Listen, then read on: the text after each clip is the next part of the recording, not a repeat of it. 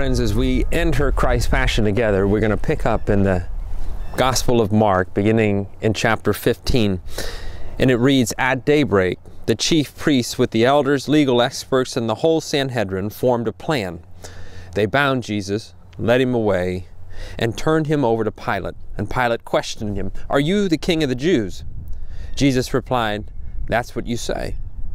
The chief priests were accusing him of many things, and Pilate asked him again, Aren't you going to answer? What about all these accusations? But Jesus gave no more answers, so that Pilate marveled. During the festival, Pilate released one prisoner to them, whomever they requested. A man named Barabbas was locked up with the rebels who had committed murder during an uprising. The crowd pushed forward and asked Pilate to release someone, as he regularly did. Pilate answered them, Do you want me to release to you the king of the Jews? He knew that the chief priests had handed him over because of his jealousy. But the chief priests stirred up the crowd to have him release Barabbas to them instead. Pilate replied, Then what do you want me to do with the one that you call king of the Jews? They shouted back, Crucify him. Pilate said to them, Why? What has he done? They shouted even louder, Crucify him. Pilate wanted to satisfy the crowd, so he released Barabbas to them. He had Jesus whipped, then handed him over to be crucified. The soldiers led Jesus away into the courtyard of the place known as the governor's headquarters, and they called together the whole company of soldiers. They dressed him up in a purple robe and twisted together a crown of thorns and put it on him. They saluted him, Hey, King of the Jews! Again and again they struck his head with a stick. They spit on him and knelt before him to honor him. When they finished mocking him, they stripped him of the purple robe and put his own clothes back on him. Then they led him out to crucify him. Simon, a man from Cyrene, Alexander and Rufus' father, was coming in from the countryside. They forced him to carry the cross. They brought Jesus to the place called Golgotha, which means skull place.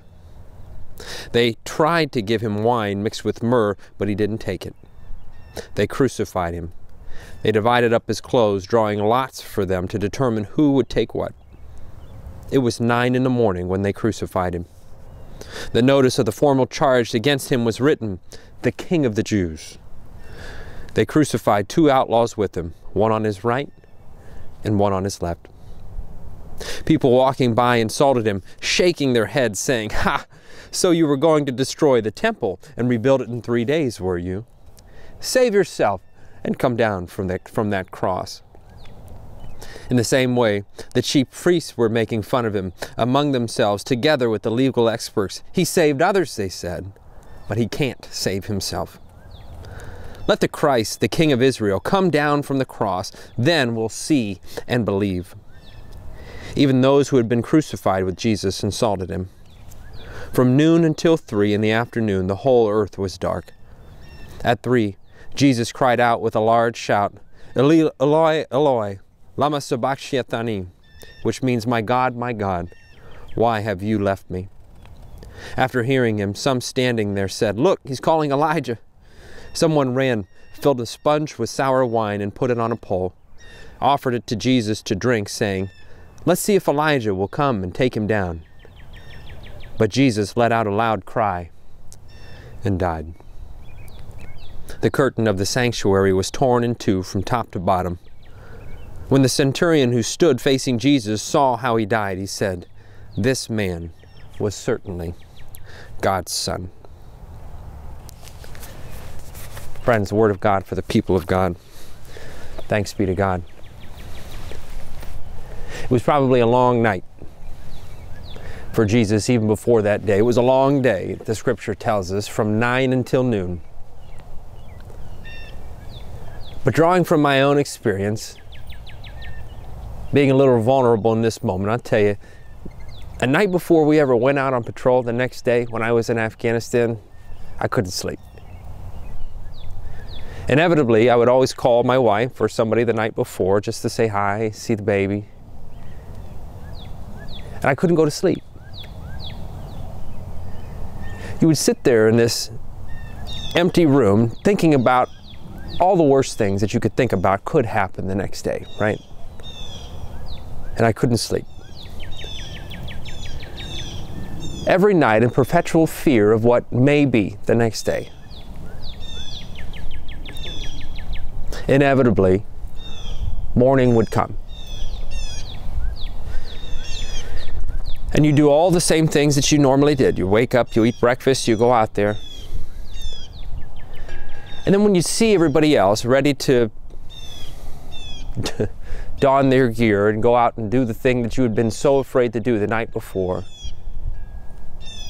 you kind of just looked at each other, shrugged, and moved on. But I can't imagine what it would have been like the night before to sit in that cell all alone, knowing what awaited you the next day. The fear that has to come in. And the disciples, what were they thinking at this time? Jesus had predicted this moment three times in the Gospel of Mark leading up to this point, and every time they started an argument about who's to be greater. And earlier, just a couple chapters before Jesus is arrested, they're going to get into this argument about Christ, do this thing that I would ask of you. When you come to sit in your throne in glory, let me sit at your right and your left, as if to say, when you become the king that you've been telling us that you would, let me sit at your right and left. And now he sits in a cell, alone, afraid. And all the disciples scattered. Peter, his best friend, had just denied him three times, leaving him alone. The kingship that they thought that he was coming into was nothing like what Christ was going to show them.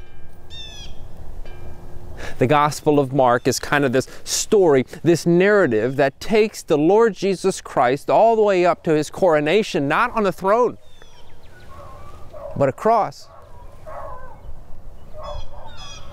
And it's poignant to note that when the disciples are arguing about who gets to sit at his right and left, when he's finally coronated upon the cross with people spitting and he gets the crown that he knew that he had to take, the people on his right and left were two criminals.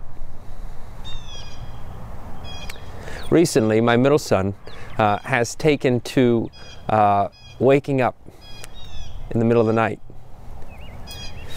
because he's afraid of the dark. And Luke will tell you that. He'll be the first one to tell you.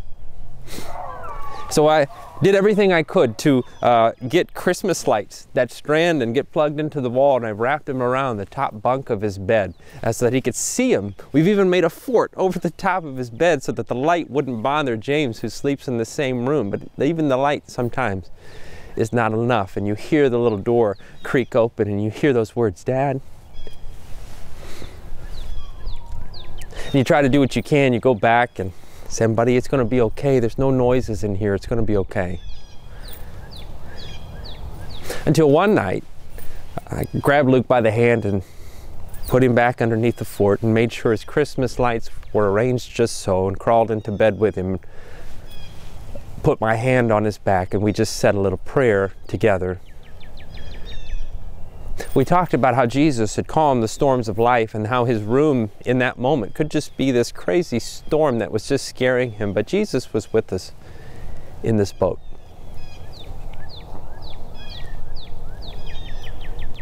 There's something that we've missed in this past year, perhaps more than anything. And it's this human contact. And I think in that moment, right, Luke needed me to have skin in the game of his fear.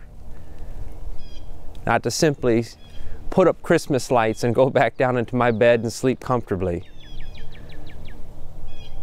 But to take his fear upon my shoulders and crawl into bed with him and tell him, put my hand upon his back and tell him it's going to be okay. I've been scared too. There were many nights when I couldn't sleep either. You see, the throne that the disciples wanted to put Jesus on in the Gospel of Mark was some distant thing. But the throne Jesus crawls up onto and he's nailed to at the very end of this text is one that shows us that our Savior has skin in the game. And maybe you're going through something today. Maybe it's an addiction. Maybe it's a broken relationship. Maybe it's a divorce. Maybe it's the storm within your own life. And there's probably 8, 9, 15, 20, I don't know how many different kinds of sermons that you could preach. But I always, about the cross, but as I always tell people, it depends on which angle that you're looking at it. And there's many different times where I needed to see the cross of Jesus Christ. To see his skin in the game of my pain and my suffering. To know that he's right there with me. And maybe that's what you need to hear this Good Friday. And knowing that when we come out on the better side of this pandemic, it's time for us to be, get back to the kind of human contact that Jesus Christ showed us one of love, one of mercy, one of compassion, one that says, I care about you and I love you and I'm ready to shoulder your cross with you.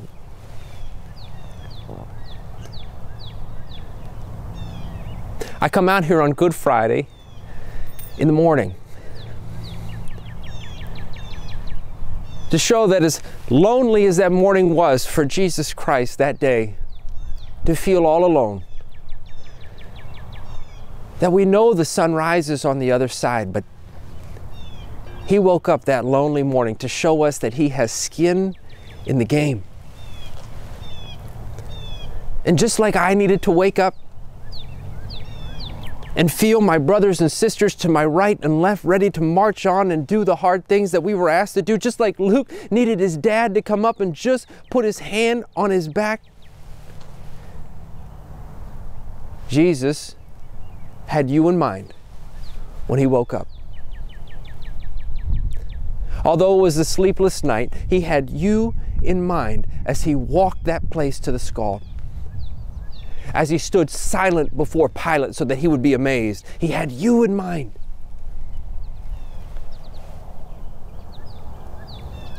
That's my message for you this Good Friday, friends. To remind you that the suffering servant, Jesus Christ, has skin in the game. And he went up on that cross because of you and because of me.